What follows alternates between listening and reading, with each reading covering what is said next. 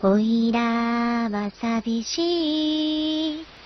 スペースマン。一人ぼっちのスペースマン。故郷と呼べる。星もなく。俺を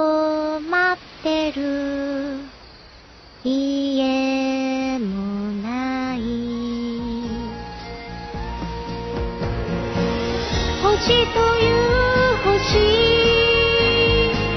月という月一つのコラス住んではみたら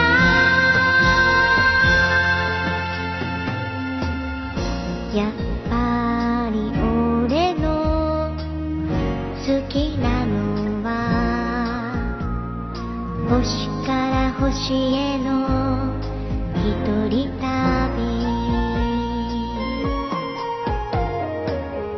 おいらは寂しいスペースマン。一人ぼっちのスペースマン。宇宙。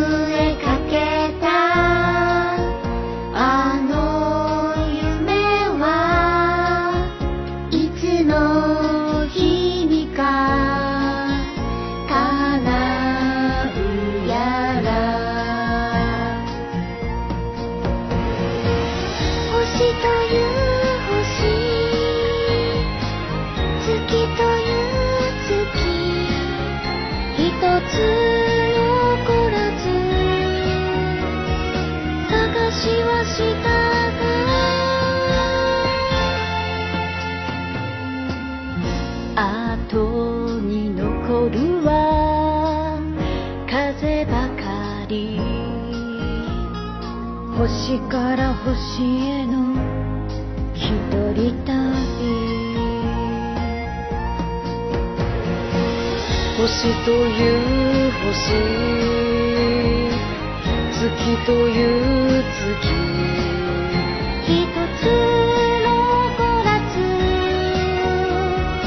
住んではみたが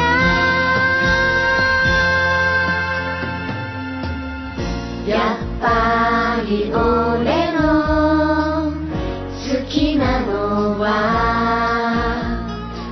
星から星への一人旅